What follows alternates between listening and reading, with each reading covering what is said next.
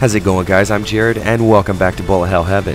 Now today we're going to be taking a look at yet another Dojin shooter, and for those of you who don't know, a Dojin production is akin to an independent fan-made piece of music, manga, or in this case, a super sweet Danmaku shooter. My first experience with Crimzon Clover was a Japanese playable demo about 3 years ago, and to be honest, I'd pretty much forgotten about it.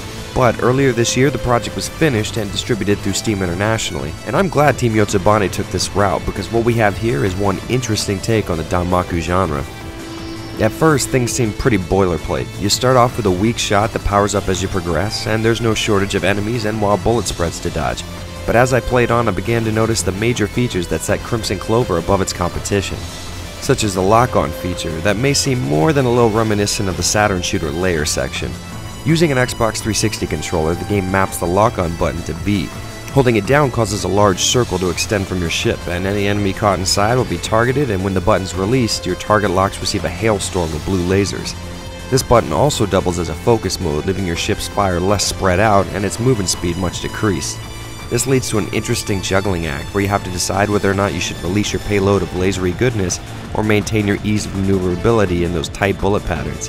And next up we have the screen clearing bombs, which are handled really well. Instead of randomly receiving them from downed enemies, bombs are gained when the on-screen gauge is filled, which is done by taking down enemies with regular shots and target lasers. But don't worry, this isn't as deep as the rabbit hole goes.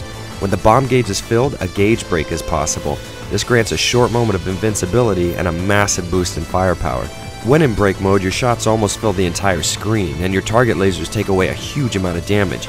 On top of all that, break mode can be stacked, so if you're able to build up a full meter while in break mode, the effects are doubled, and your bullets are just about the only thing visible on screen.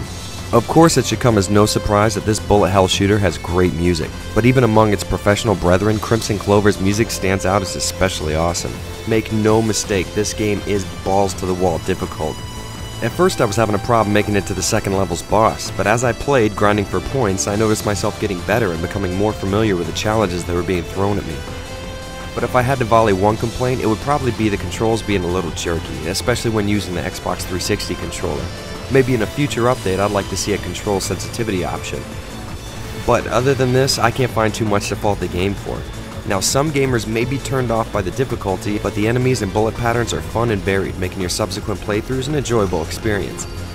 And just in case you were looking for another reason to pick up this ball-busting good time, Crimzon Clover can be found for a mere $6.99 on Steam. With great graphics, challenging difficulty, a rockin' soundtrack, and an interesting spin on the format, Crimzon Clover earns its score of 4 bullets out of 5. Thanks for watching, guys. Alright, so it seems like it's been an eternity since I put out a Bullet Hell review, and that's mostly because it has been. But the fun doesn't have to stop just yet.